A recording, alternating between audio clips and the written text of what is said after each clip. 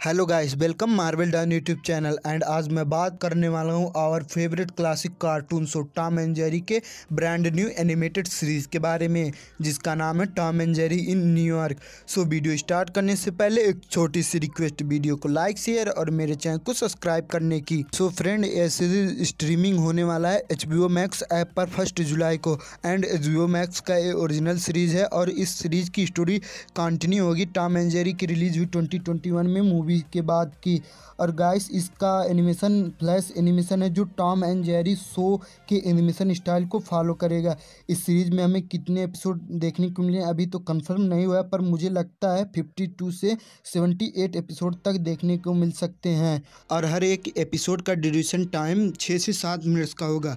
And character के return की बात करें तो हमें जितने भी कैरेक्टर मूवी में देखने को मिले थे एनिमेशन कैरेक्टर वो सभी कैरेक्टर इस सीरीज़ में रिटर्न कर रहे हैं, क्योंकि हमें इस प्रोमो ट्रेलर में देखने को मिला हाथी, जो उस मूवी में था। इससे पता लगता है कि सभी कैरेक्टर्स रिटर्न करेंगे और इस सीरीज़ में क्लासिक कैरेक्टर भी रिटर्न करेंगे, जैसे टॉम की लव इंटरेस्ट और जेरी की friend baby dog and guard dog और टॉम के कैट डॉग्स। और इस सीरीज़ की स्टोरी रॉयल गेट होटल से स्टार्ट होगी।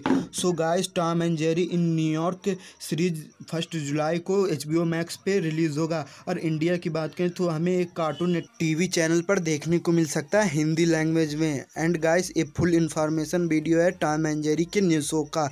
अगर आप टॉम एंड जेरी के फ़ैन हो तो वीडियो को लाइक करें, शेयर करें और मेरे चैनल को सब्सक्राइब कर कर वेलाइकन प्रेस कर दें, क्योंकि मैं बहुत सारे अमेजिंग वीडियो लाता रहूँगा इस चैनल पर। मिलते हैं नेक्स्ट वीडियो में, तब तक के लिए बाय